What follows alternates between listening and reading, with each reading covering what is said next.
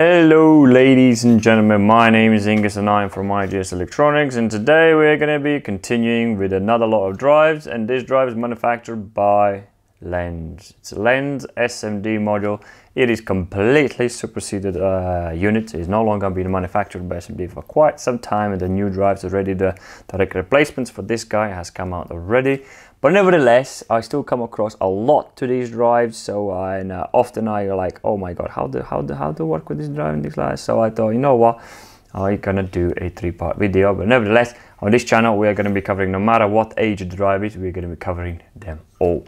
So again, as usual, three-part video, we're gonna commission, set some parameters, see how the things work, how to get your head around the menu and things like that, and run the drive in a local run, uh, if it's possible.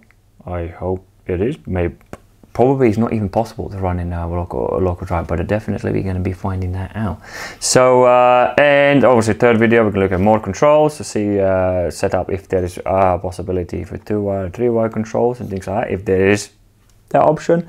And as usual, again, on third video, we're going to be looking at how to do that uh, if it's possible. Again, I have no idea how much you can do with this drive uh, with the MOP control, which is a two push button uh, frequency control and uh, multi-frequency. I hope so. it should should be okay for the multi-frequency.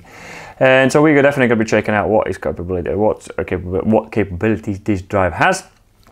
So and uh, before we get started, I'd like to say that uh, if you guys haven't checked that out, uh, do check out our uh, eBay page where all of these items I am covering on my channel and many, many, many more industrial electronics goods are all listed on our eBay page. And there's a reason we are using the eBay, eBay for selling because it gives us a very, very wide, mar worldwide market that everybody can access. Uh, and see what we've got in stock. Rather just just UK based. So if you're looking for anything from anywhere in the world we got you. So uh, you can find you can buy everything on uh, our store on ebay and all the payments and things like that are covered through it. So definitely check us out. So without further ado let's get started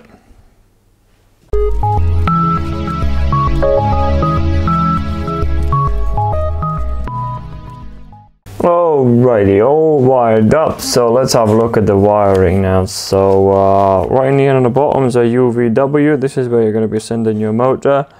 There's a PE and PE down here. Both of them are used for the DC brake. And your input is going to be right under here on the top. So uh, L1, L2 and uh, obviously the earth.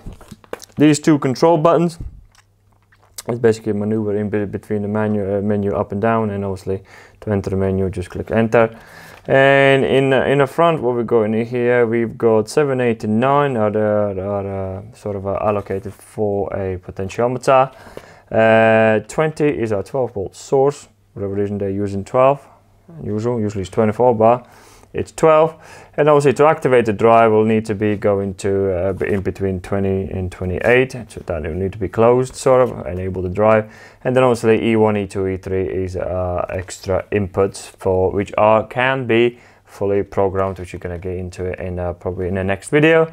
And the last but not least is this K14 and K12 is a relay as well uh, which is um, uh, digital output.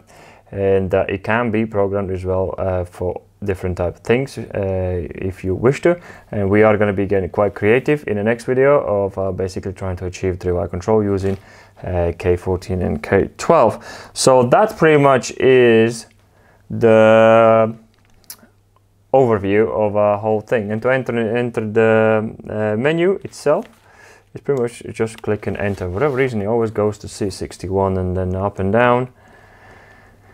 You sort of go through all the uh, menu itself. It's not big menu, it's, it's literally uh, quite a skeleton version of the drive.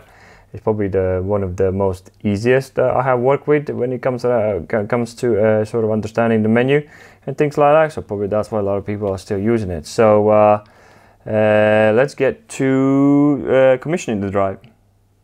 Okay, and before we start resetting the, uh, not resetting, setting up the commissioning the drive, I'll quickly talk about a, uh, a, a drive initialization. So you, should, you can sort of uh, load Lenze settings, but I think, believe those Lenze settings very much depend on what sort of software version you have in your drive. So be aware of that. So there is possibility that, that your uh, defaults will not be set exactly what the manual says it is. So you can do that in uh, C, believe it's, C, it's the C02 and check out the manual what each number means and I think I have only one group yeah which is a 50 hertz group. So uh, I'm not going to do that because I already done that. So uh, uh, I'm going to get straight to the uh, drive commissioning. And to do that first we're going to do is uh, go to the C1 the C1 is where we are going to select what sort of a set point control we're going to be using and we are going to be using a uh, later on in the video, so we're going to be using just the front control for potentiometer, which is for the next video. But for this video, we are going to be actually controlling the, the frequency with up and down buttons in here. You can't, as you can see, there's no start stop button on here. You can't start and stop button without a small external uh, control where you need to close the 20 and 28. So uh, I will be choosing the option, oops, I'll be choosing option one, which will allow me to use these two buttons later on. So uh, next I'm going to set a minimum maximum frequency, which is a C10. Minimum is great.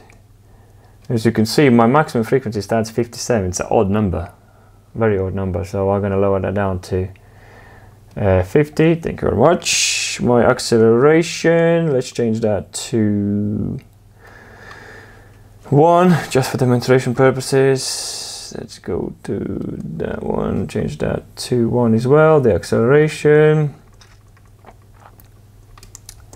And that and the next one we're going to be looking at is a, um, a um, configuration of analog inputs. So we make, just make sure we're using a 0 to 10 for later on 34 this is where you pretty much select a uh, what sort of voltage you're going to be using and how many numbers are in here? Yeah, it is all three in there, so you can it goes all the way from zero, and zero stands for zero to 10 volts, so that's exactly what we need.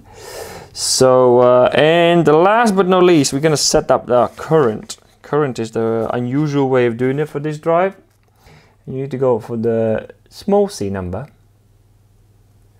which is going to be C20. In the C20, the way you, you need to set up it is actually in percentages. So you take a, a, drive current and motor current. So take a motor current divided by drive current will give you the percentage what you need to set in. And I've already done that and my percentage is 66%. So that's how you achieve your overload. So make sure the drive shuts down when it reaches uh, that uh, free, uh, that uh, current and it, I think a certain, a certain amount of time stays on it and if it's continuous it will shut it down. And that ladies and gentlemen will be it when it comes down when you're trying to set up this drive. The thing left to do is now to try it out. So uh, I got stationed here where I have a uh, uh, uh,